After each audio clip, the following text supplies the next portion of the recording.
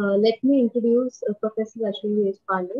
Uh, Dr. Ashwini Deshpande is a professor of economics and the founding director of Center of Economics and Data Analysis at Ashoka University. Her PhD and early publications have been on international debt crisis of the 1980s. Subsequently, she has been working on the economics of discrimination and affirmative action with a focus on caste and gender in India. She is the author of Grammar of Caste, Economic Discrimination in Contemporary India, Affirmative Action in India, Oxford India Short Introduction Series. Ma'am has also received the Exim Bank Award for Outstanding Dissertation in 1994 and 2007 VKRV Award for Indian Economists under uh, age 45. Today, ma'am would be speaking on COVID-19 and gender patterns in employment in India. Welcome, ma'am. Uh, over to you. Thank you very much. Uh, thank you for inviting me, and I apologize for um, my slow communication. Normally, I'm much faster, but it's just been a difficult uh, time when dealing with everything online has been a bit difficult. But it's a pleasure to be in your midst, even if uh, I'm here virtually. I'm going to uh, keep it a bit informal. I have a paper, and I'm going to show you some results from that. But I understand that this is the fourth talk in the series, and you've heard excellent scholars uh, before uh, today's session. So I'm sure that there is a fair bit of background that you already have. So I'm going to present, I'm going to discuss some of some key issues about gender uh, disparities in the Indian labor market and how COVID has impacted them. But then I will open the floor for uh, question and answers and discussions because we can, you know, all learn from each other. Uh, and so, you know, let's let's keep it interactive. In between, if you have questions, please type them on the chat box and maybe Varsha, if, if you want to stop me, you could just tell me to stop and clarify. If it is something more substantive, we can take it up later if that's, if that's okay. Yeah. So if it is something that you want me to clarify right as I'm speaking, um, do type it out and Varsha will take a call uh, and let me know because I, it's hard for me to read uh, the chat when I'm speaking as well. So that's let's let's uh, proceed that way. So um, one of the uh, hallmarks of this particular crisis, the COVID-19 pandemic and its economic aftermath, uh, of course, there's been a massive slowdown of the global economy because lockdowns have been the primary uh, method to um, halt the spread of COVID until the vaccine came along. And even now, vaccines are available to very few uh, in, the, in the global economy because of the unequal distribution of vaccines. So last year in 2020, it was predominantly lockdowns uh, that uh, were used as a policy instrument to halt the spread of the disease. Lockdowns were either total or they were partial, but no matter how stringent the lockdowns were, ultimately what resulted was a slowdown or a stoppage in economic activity. So basically units shut down, right? Uh, and this was because of the lockdown, but also because of the particular nature of COVID, which is transmitted through close contact. Um, and so social distancing became a very important tool uh, in halting the spread of COVID, which meant that all economic activities that involve close proximity, for example, restaurants or hospitality or cinema theaters or malls uh, and places such as these had to be closed even if other economic activities were running, right? And so one of the characteristics of this uh, pandemic has been that elsewhere in the world, more women have lost jobs than men. So in absolute numbers, more women have lost jobs than men. Uh, if you look at the US statistics, if you look at European labor statistics, you see the same, you see the pattern. This is not true of all recessions. For example, in, in, in the previous recession, 2008, uh, more men had lost jobs compared to women, right? So the gendered impact of an economic recession or a slowdown can, can vary. But in COVID, all over the world, it's been the case that more women have lost jobs than men. What has been the evidence in India? right? And that is what uh, the paper that I have uh, tries to look at, which, and this is based upon data in 2020. So 2021 is another story altogether. Uh, but this, this evidence that I have is for 2020. Now, in India, one, one of the challenges uh, to assess the gendered impacts in order when we are assessing the gendered impact uh, of COVID is that in the, the Indian labor market is already marked with very significant gender disparities in labor force participation rates. So the difference between female and male labor force participation rates was already high in India before the pandemic hit, and female labor force participation was declining. Uh, now, whether that meant that fewer women were working or women were working fewer hours and so therefore they, they were not getting counted as workers is a separate question.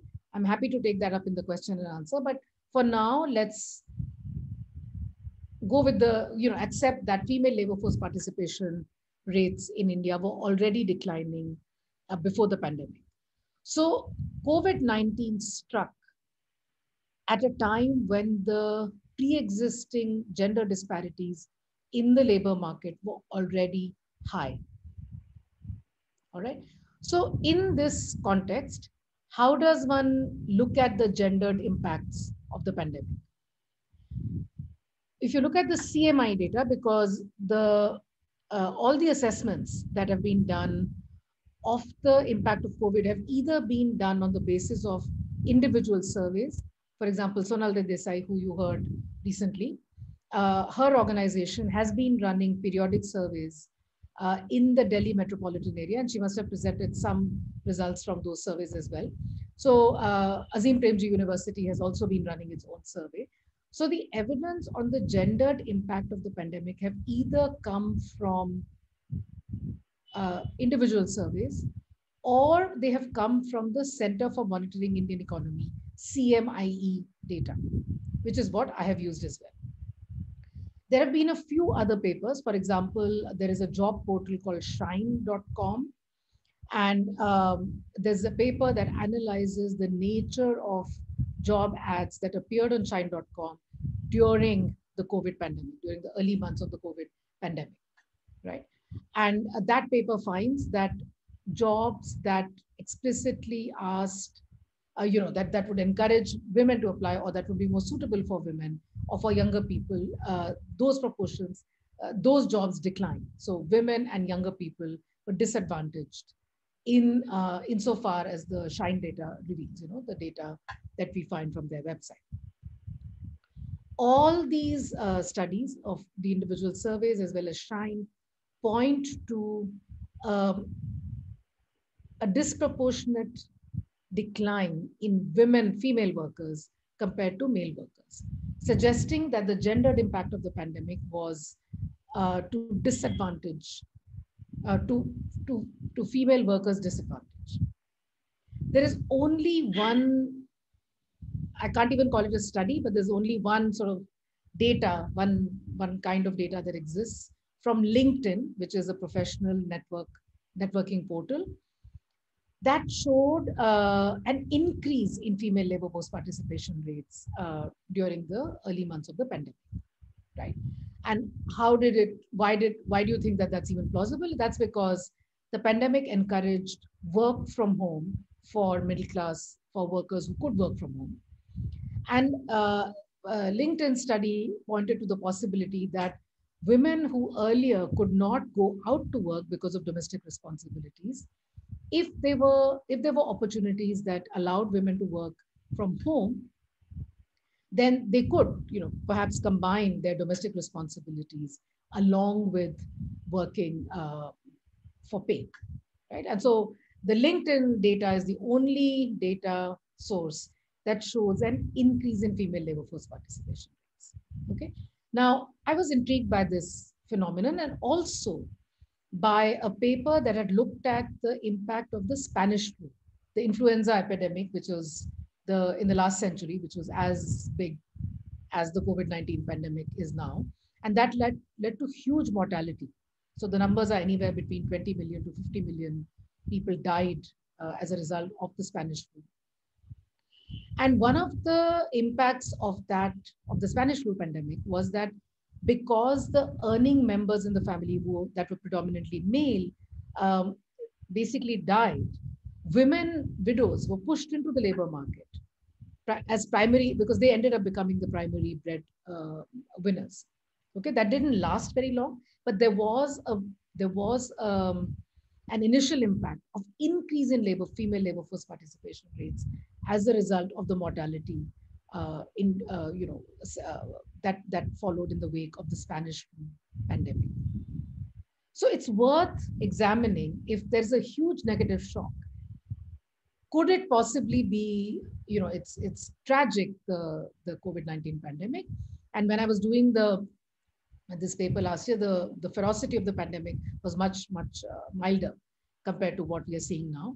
So at that time, it seemed uh, it seemed like a question worth investigating, whether there could possibly be a silver lining. This year, we will not use the word silver lining at all because it's just been absolute devastation and mayhem with people's lives, right?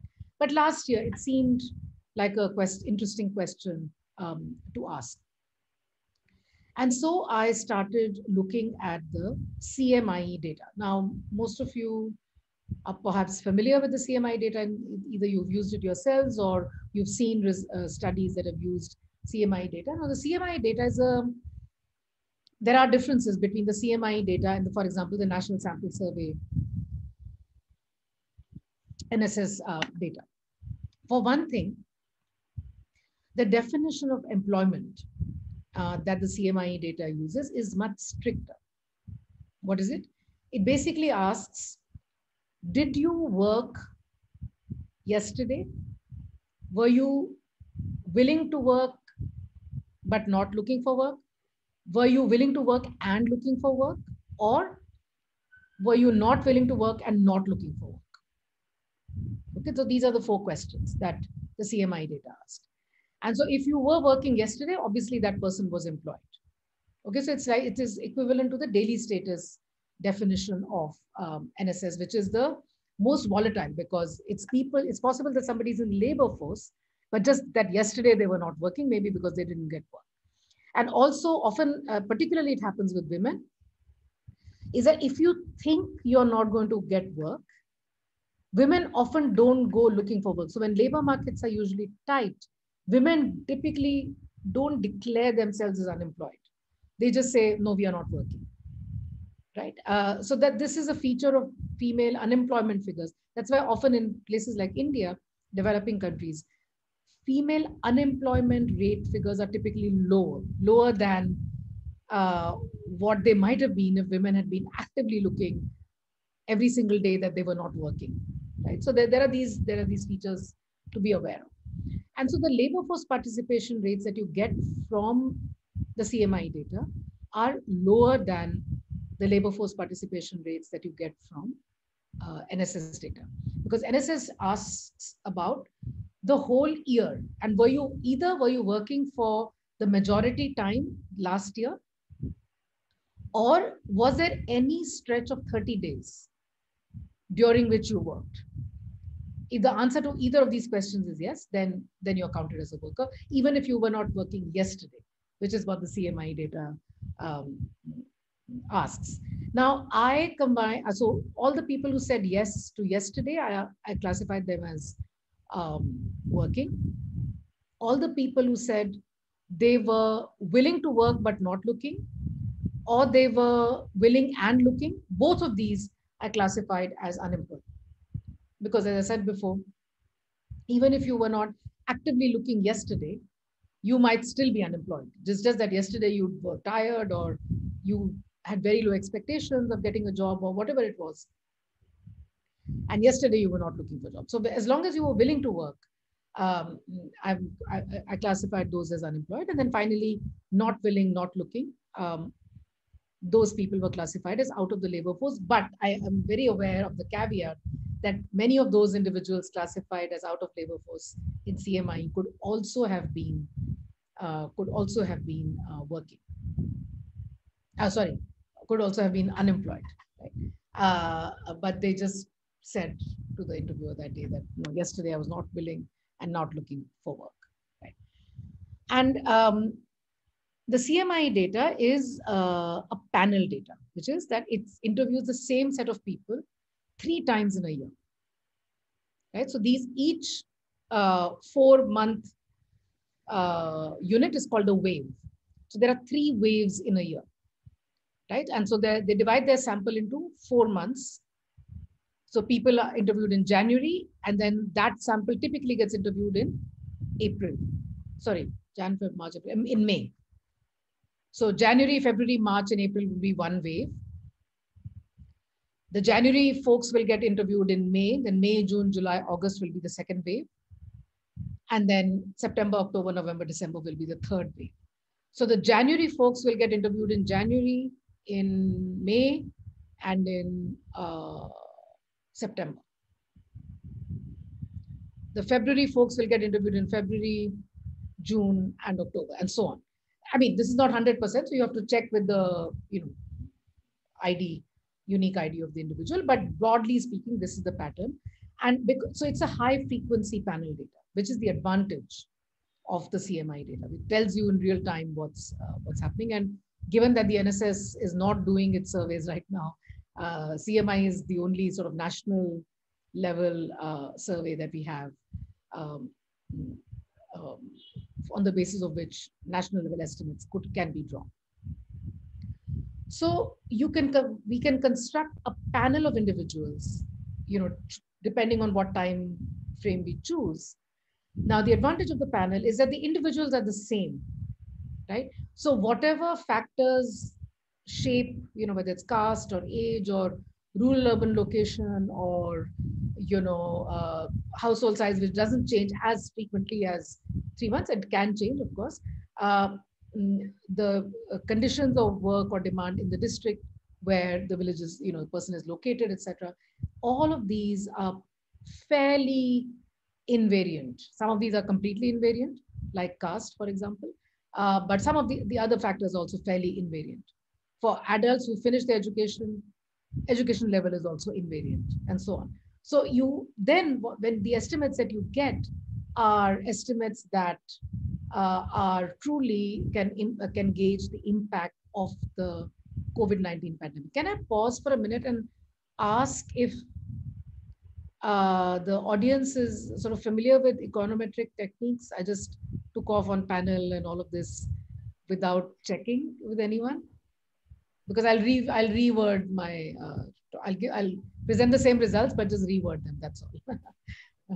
yeah. Uh, yes, ma'am. Uh, most of the audience are uh, students, so they are uh, they you know they are aware of econometrics, but maybe not that they. No, no, that's fine. It's not an exam. I'm not. I'm not going to ask questions. It's just that you know, uh, panel, etc., should not say what the hell. Yes, yes. Uh, they have heard of the term. Yeah, they their basic uh, understanding. okay.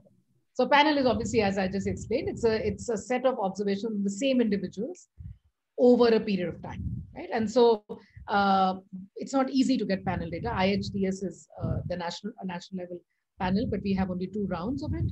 Uh, you know, we'll we'll have a third round hopefully once the pandemic is over and so on. So, so this is basically uh, what I did. And at what I mm, uh, did was that I looked at the set of individuals who were interviewed in April of 2020. Why April of 2020?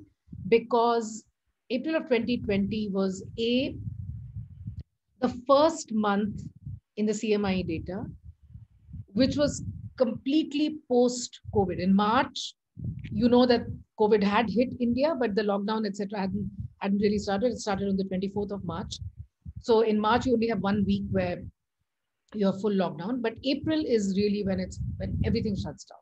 And so the sort of dramatic fall in employment really happened in April 2020 because it was a stringent national lockdown with no warning for preparation, etc., etc. So that's what happened. So what I did was I looked at individuals who were interviewed in April 2020 because they would have suffered the biggest drop in employment, at least at that time. And then because it's a panel data, the CMI, I could trace them back, um, you know, a couple of three, four rounds before April 2020. And um, uh, I analyzed data until December 2020. So I have three points in time, April, uh, August, and December. No, sorry, wait. Um, yeah, April, May, June, July. Yeah, April, August, and December of 2020. Uh, so I have three observations on these individuals post-COVID, and I took about three or four observations pre-COVID to just look at the uh, changes in these in this group. Okay, and the idea was to um, to focus on this panel was to check of you know in terms of the worst affected at least last year. Okay, can I uh, now share my screen and show you some figures? Okay. So I'm not going to show you the equations, etc. I'm happy to share the paper with all of you. But here is, um, can, you can see my screen, right? Yes, yes. Okay. So this is just average employment. Um, and I've taken the period from January 2019 up to December 2020. So it's a 24 month period. Okay. Uh, and you see that uh, the red line is, is the average employment for men. And the blue line is the average employment for women. Okay, so first notice the gap. So this is what I was saying about the pre-existing gap. Okay. And while the male employment remains pretty steady until you come to March, because remember that the last week of March, the lockdown had all was had set in. So you do see uh, some fall in March as well the female employment, you know, there are ups and downs, etc. But by and large, there's no dramatic increase or decrease that happens in um, in women's employment. Okay, and in April 2020, you see a fall both for men and for women. But unlike other countries in the world where the absolute number of women who lost jobs was in absolute terms was greater, in India, it was not, that was not the case. So the first month in April 2020, uh, 17 million women lost jobs, according to CMI data. And the corresponding figure for uh, men is, I think, 120 uh, million. Um, so it's, it's a much larger number of men who lost jobs in, um, in April 2020 relative to women. Okay, but as, as I'm going to soon argue, that is not the most appropriate way to look at the gendered impacts. Why? Because given that so many more men were employed compared to women, in absolute terms, it is to be expected that more women, uh, more uh, more men would have lost jobs than women. And you see between April and August, you see some increase, some pickup of economic activity as the as the economic economy unlocked. And then from September onwards, it starts to taper off. And when it starts to taper off the increase in employment, women are disproportionately hit. And all the figures from CMI after that, so from January to uh, this is, we are in May now. So January, February, March, April, the first four months um, in CMI, you see um, A, employment does not pick up, did not pick up. In fact, in May again, uh, the first three weeks of uh, data from CMI is, is very, very uh, alarming because there's again an increase in unemployment rates. So A, employment, the pickup in employment that one saw between April and August sort of tapered or tapers off and continues to decline. And that impact is also gendered. Okay, it's not, that's not in this paper, but uh, this is based on, the, the latter statement is based upon what the CMI um, shows. So, you know, if you look at this differently, uh, you know, separately from uh, rural and urban, Again, you see um, the, the blue bars are female employment and the red bars are male employment. And so again, you see that dip here, you know, you see this dip going from March to uh, April, and again, you go from March to April here. And you see that it's much, the dip is much greater for, for men uh, than for women. So that's, so that's also an uh, important aspect to remember. That is in absolute numbers, men lost jobs more. But that would be, to, to my mind, I would have been very surprised if I, I had not seen that because of the pre-existing gender gaps.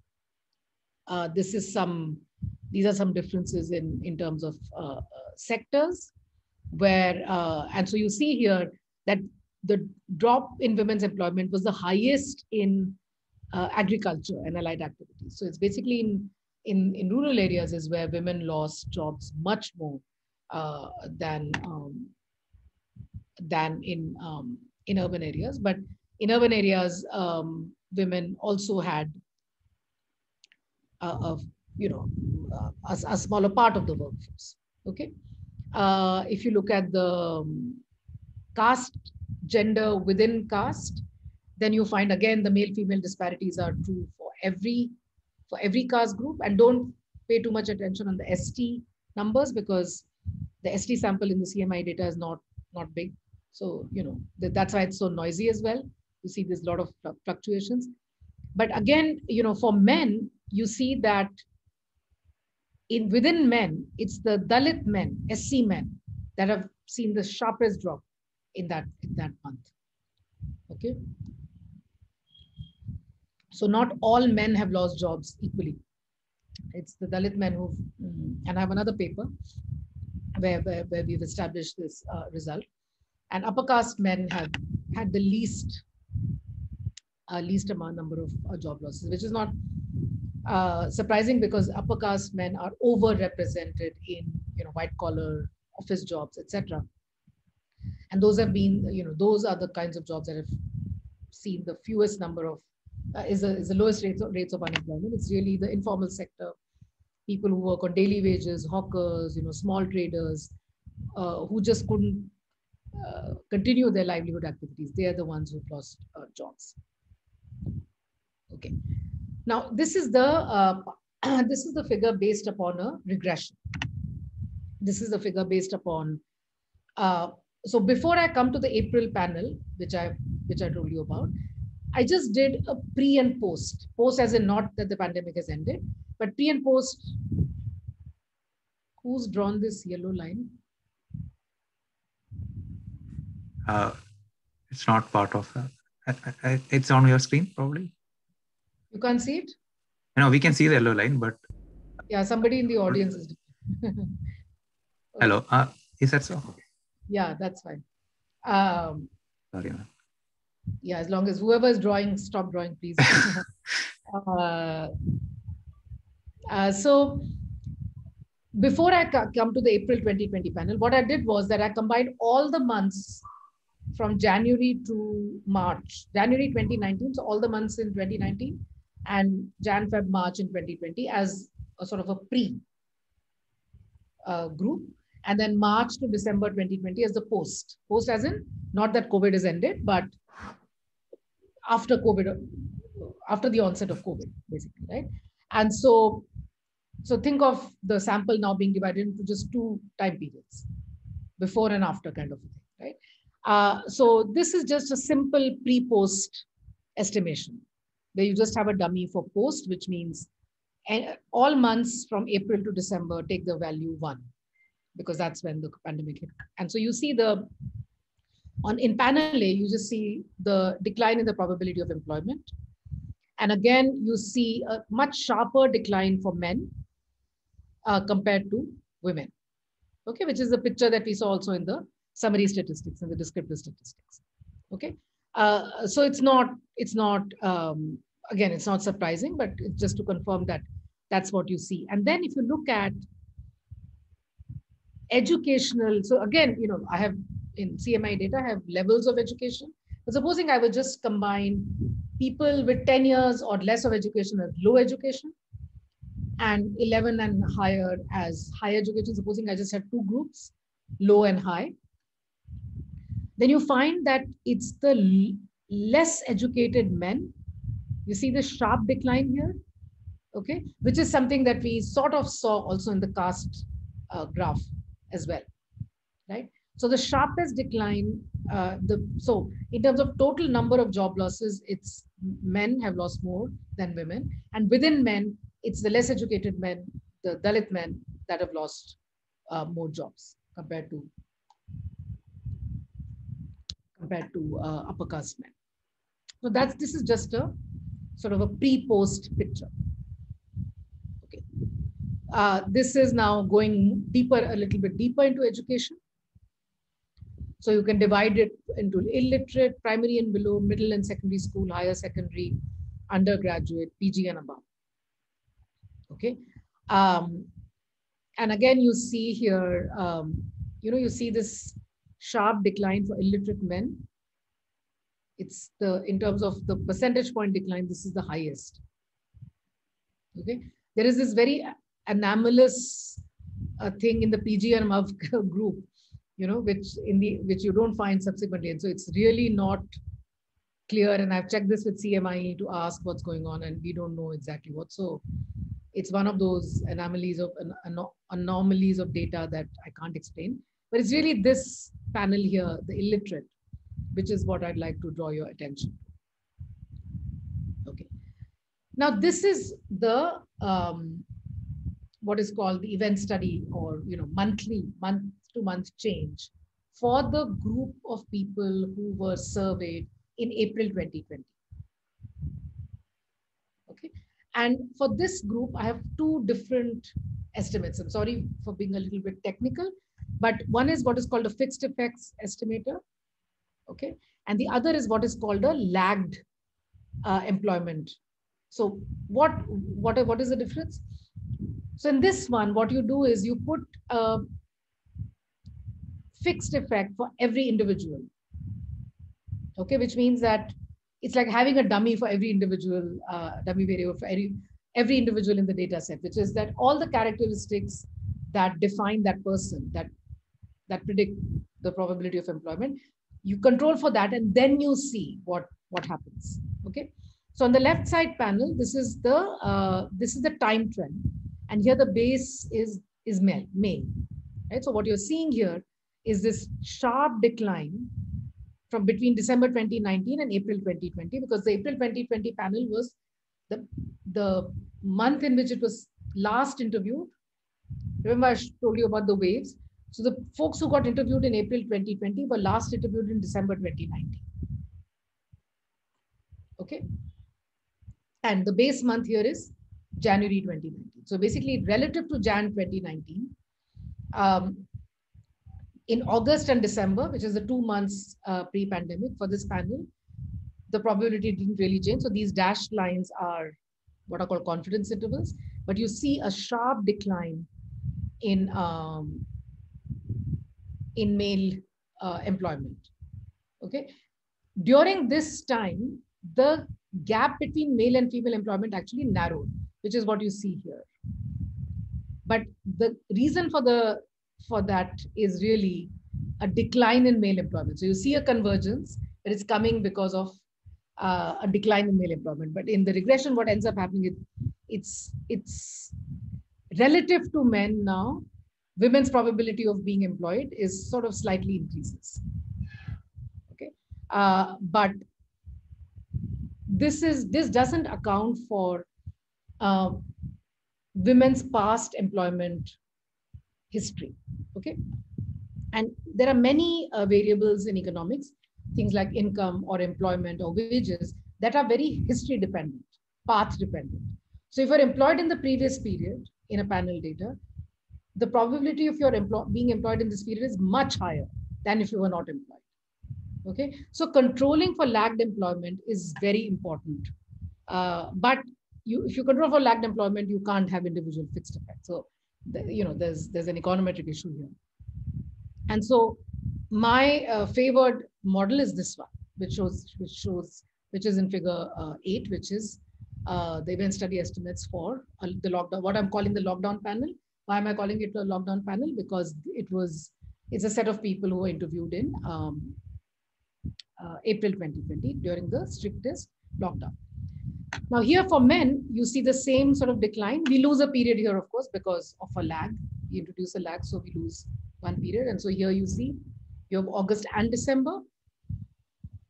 You lose August here because you're looking at the lag. Right? So, so this is the decline that we saw even earlier.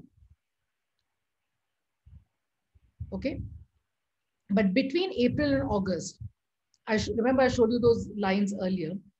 you see a, an increase in the probability of male employment as the economy unlocks. Okay.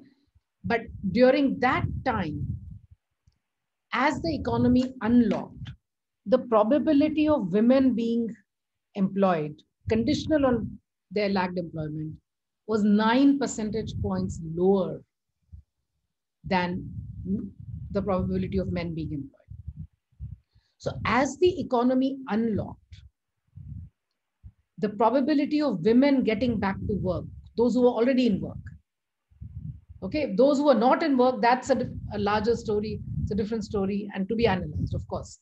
But here, because of the pre-existing gaps, it's more instructive to look at women who were already employed before. Okay, so that's why this estimation with lagged employment is actually tells a different story, which is as the economy unlocked, the gap between male and female uh, probabilities um, increased. Okay, now is was this because of school closures and that women had to stay at home uh, and take care of the chil children's homework, or is it because of the sectors that employ women, like hospitality and uh, you know retail, shopping, etc., etc. All of those, they were they didn't you know even as the economy unlo unlocked, they were the last ones to open. So was it because of that? It could be a combination of factors. For example, in the United States, there are very there's very clear evidence that the drop in female employment is because of the rigors of um, homeschooling. Because even though the gender division of work is much more equal in the US, but the responsibility of schooling the children and getting their homework done, etc., still falls predominantly on the mothers. Uh, and so mothers are dropping out of the workforce. Because in the house, even if you are able to work from home, to manage work from home, schools, lessons, homework, etc., etc., is, is very, very difficult. So that's that's what I um, that's what I find as well. Um,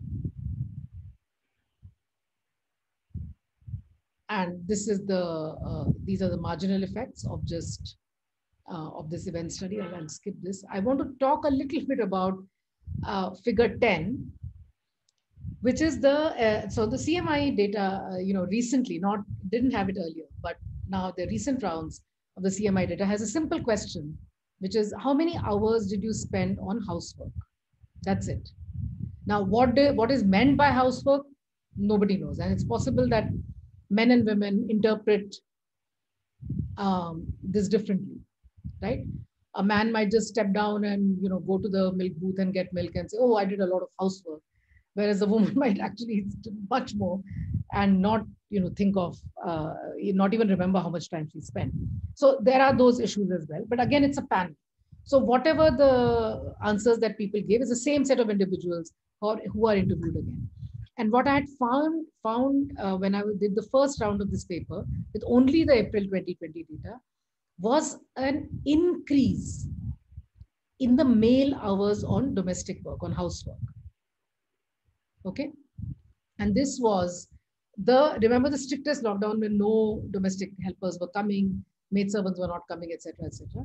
And it's provided some ray of hope because uh, the domestic, the you know sharing of domestic work in South Asia, particularly India and Pakistan, is extremely unequal. You know, women do about 10 times more housework than, than men do. And so this increase in male hours of housework looked uh, fairly promising.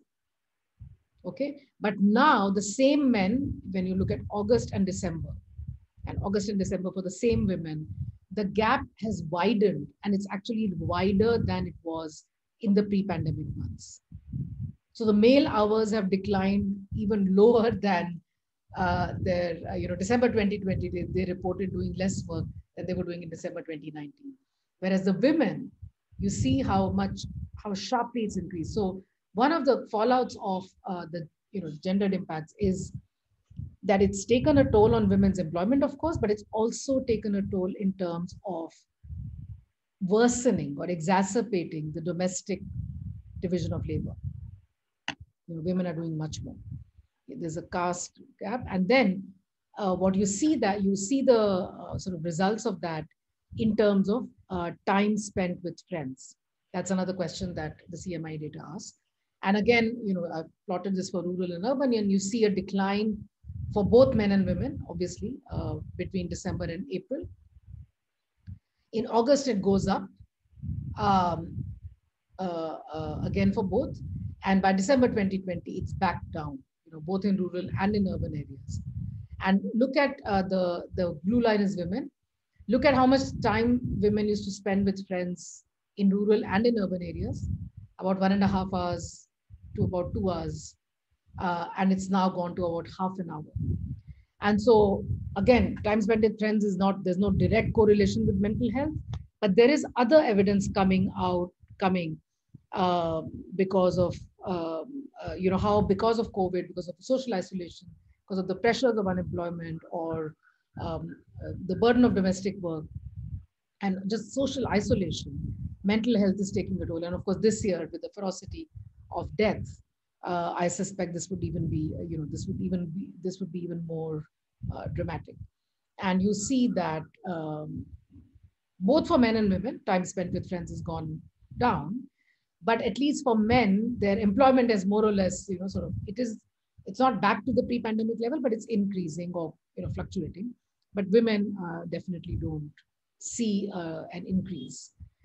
And so, um, you know, my final, I guess, uh, words is that uh, my final words are that um, the impact has definitely be, had gender, uh, the COVID pandemic has definitely had gendered impacts, uh, which have been disadvantages to women. Okay, even though in absolute terms more men lost jobs, but there are all other indicators that you can see where women have been more disadvantaged uh, compared to one uh, to men. So the existing pre-existing gender disparities in the Indian labor market I think have been worsened uh, by COVID. I'll stop here and we can move to questions and answers and discussion. Thank you so much, Ram. Um, I was just about to interrupt for a clarificatory question. Uh, Samiksha has asked, so just on the image that we have, that why the time spent with friends is lower for men than for women? um, which which one? Which which are you talking about? Rural, urban? Which month? Uh, Hello, ma'am. I'm talking uh, about this December 2019. A woman uh, time spent is more, and then uh, like the male are starting from the low level. Why so? Yeah, but it's not that much different. I mean, it is different. Yeah, there is a significant difference. This is what they. Reason, this is what they reported. Um, okay, okay. This was just a little bit surprising for me because we actually uh, say that women are uh, more involved in housework. So I was thinking that time spent with friends.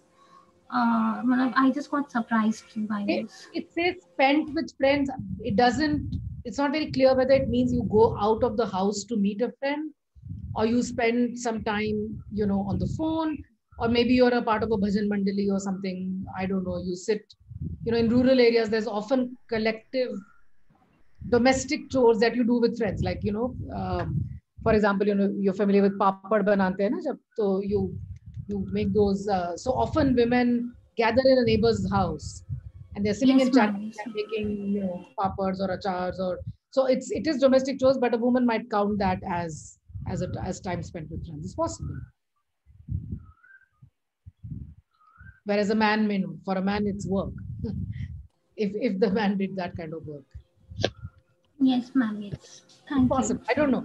There is just just a one line question. So what has gone into the mind of the respondent? It's hard to say, but whatever it is, it's the same set of women who are being asked and the same set of men who are being asked, right? And so Yes, that's where the difference is in this. And ma'am, anyways, women stay at home, so maybe they get time to just go to the neighbor house and for, but men actually go out to work, so maybe they uh, daily they don't get time to meet friends, and maybe weekly they get or whatever. But uh, maybe we can say that uh, in that could also be one of the Well, it, it's it runs both ways, you know. Uh, even though women stay at home, they also have to do their work never ends. You know, they're working 24 7. Whereas men, you know, if they're coming back from work, nobody's going to ask them, you know, what happened? Why didn't you come straight home from the field or from office or from wherever they are, you know? So they have also have much more freedom of movement, men do. And Yeah. fewer questions asked. So they, it's complicated.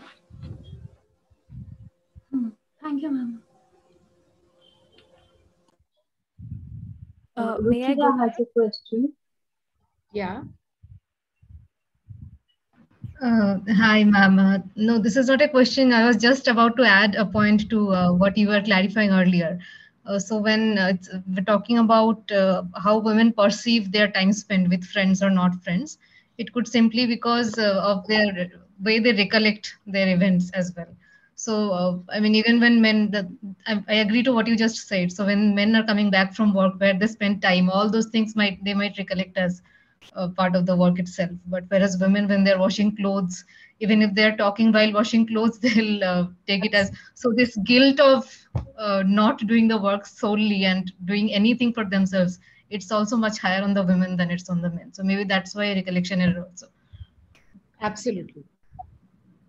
Thanks, Ruchira, for the cla- clarification. I, matlab, she's really making sense, right? We didn't thought like that. Thank you so much.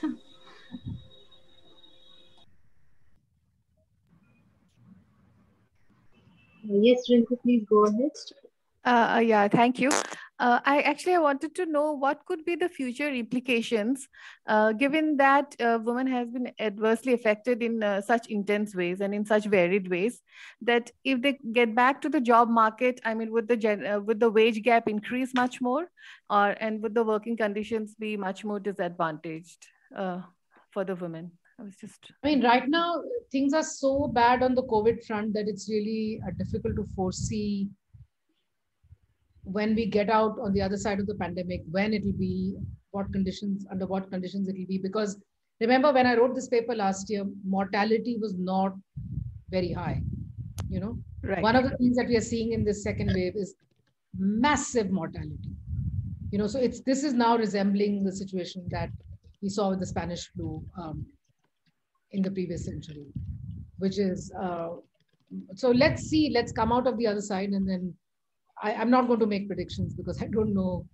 Uh, the one thing I'll say though is that so many things will need to change after we are over the pandemic. So I think gender equality should be a big focus of any policy change. Uh, you know, if you are hitting the reset button, you might as well reset the gender equality component as well. Uh, course, you need political will to do that. The allocation for a gender budget just decreased, so I don't know where we are going with that. But, Budget is the least of it. Budget is the least. but at least the allocation would show what what's the priority is. So yeah. So, uh, but I'm, I'm I'm talking more broadly than just the budget. It's just Hmm. uh, in you know, of the belief, the sort of everybody has to Attitudes. exactly yeah. that gender equality is what society needs is, is, is something that has to be internalized by everyone um, you know and uh, so as they say never waste a good crisis so uh, but whether it'll happen or not is is uh, anybody's guess okay. Thank you. Uh, hello, ma'am. Uh, thank you so much for that very insightful discussion. Uh, ma'am, going back to that graph on the lag employment for both men and women. Yeah So, uh, So, do we have a rural and urban breakup for the female lagged employment effect? Because I think that would be interesting to know how uh, the sectoral recovery in the economy took place and what the effects were for uh, like for women in the rural and the urban areas differentially. Yeah, so I didn't put a rural urban. I mean, I put I put um, a rural urban dummy, but I didn't ru- run this separately for uh, rural and urban only because of the sample size issues. Um, but it seems to be the case that where are the rural urban figures? Um, just on the descriptives, uh, you see, um, you know, so you see a bigger, you see an increase uh, in September 2020 for uh, rural women, which you don't see that much. I mean, you see a little bit um, in for in for urban, but then again you see a decline you know. So yeah there is there is some rural urban difference but it's not super dramatic. Thank you ma'am. Shivani has a yeah. Um, professor can you hear me? Yes. Yeah. Okay. Um uh, so my point uh, was that uh, we have observed that wars uh, have been followed by an increased female uh, labor force participation rate in in history. So, do we have expectations that even with COVID, we are seeing that the male mortality rate is relatively higher than the female mortality rate? So, maybe female LFPR can be expected to increase after the second wave. That's what I started with. So, we don't know. First of all, mortality data is so poor right now. So, I don't even know whether what you're saying is true. Maybe it is, maybe it isn't. I, I don't know. I haven't seen gender disaggregated mortality data because mortality data itself is very poor. I mean, uh, uh, you know, so the if you compare the figures that are coming out from official channels with, you know, many researchers have done mortality estimates. Uh, newspapers have tried to, you know, look for obituary notices, etc., crematoria data, and all of that, and you don't see. Um, uh, you you see a big gap between what the government is releasing versus what other people are calculating within that gender disaggregation i don't know i haven't seen it yet um, but this is what i started by saying which is that you know in the spanish flu for example you did see an increase in female labor force participation rates as a result of excess mortality of men who are the sole earning members of their families whether that will be the case this time you know hard to make a prediction Okay. Thank you. I saw a comment by Tomeo. Uh, please excuse my pronunciation. If you'd like to ask your question or observation. Yeah, Tomeo is thanking basically, he's basically thanking ma'am and he's mentioning that in Japan, uh, the single lower educated women were the affected, uh, they were the most affected. The results are quite different in Japan and India. Is that a question written somewhere? Because I can't, I didn't hear No, it's very- not a question. Uh, he has just mentioned a comment in the chat. It's on the chat section. Okay, let me see. It's a comments to everyone. Chat. Yeah. Uh, okay, all right. Yeah, yeah, but but- but he's he's asking if in Japan the low you know lower educated women were affected the most, but similar is in India, isn't it so? Single, single. Yeah, big. please. Is, In Yeah. India, single women, the proportion is very, very small. Right. Marriage in India is nearly universal. Uh, Tomo, if you're listening, if you're hearing me, then um, marriage rates in India are very high compared to other, you know, developed countries. Uh, we have two more hands. Uh, We have Buddha. Subhashree. yeah, please. Yeah, hello. Hello. Yeah, ma'am, uh, there was a bit of clarification. Like you showed one graph uh, where the agriculture and allied services, like the employment for female, like the female employment in that particular sector, uh, sees a massive drop, like in comparison to the male employment. So is it because, like, uh, how do we interpret this? Is it because uh, the time period which you have taken for this study is April 2020, which was the strictest lockdown?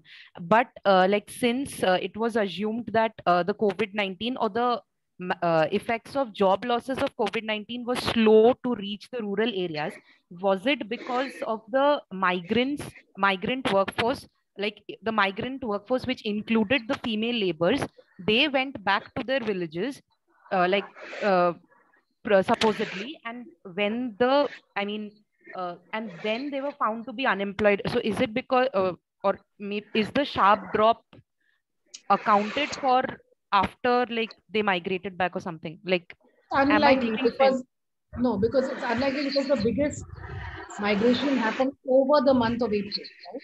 Uh, and uh, these, I mean, so I don't know, maybe there were some migrants who came back. But this people, uh, people in rural areas. Yeah. And also lockdown kind of juxtaposed with the lean season in 2020. So all those uh, harvesting work, everything was closed for two months. Yeah, yeah, yeah. All right. Thank you. Thank you so much. Uh, hello, am I audible? Yes. Yes. Uh, okay. Uh, hi, I'm from across the border, all the way from Karachi. Okay, I have one comment and one question. Uh, my comment is on figure 10 that, uh, of course, the time spent doing house chores has increased, in fact, because I am also a mother of two children, and homeschooling the kids is uh, definitely taking a toll on us. My question is um, Does CAI any data account for uh, informal labor force participation as well? Because I don't know about this data. Yeah, yeah, yeah. So it's all kinds of uh, work. So basically, as I was saying in the beginning, the question is asked, were you working yesterday? That's it. You could have been a rediwala, you know, just a somebody, who, a hawker, street hawker, who, um, you know, sells vegetables on a cart or something, or uh, somebody who sits on the side of the road selling some tea or mending shoes, or from that person to a white collar, you know, uh, holder of a white collar job. So all all ranges of occupations are uh, in, uh, in, included. So I have that. I mean, I haven't don't have a figure right now here, but I have looked at occupational differences as well.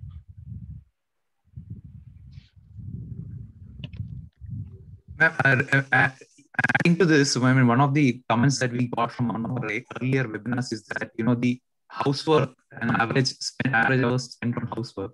Uh, women really don't count. Say, for example, if they're involved in agricultural activities or you know, or some of the uh, the accessory activities related to agriculture, they don't really count that as work.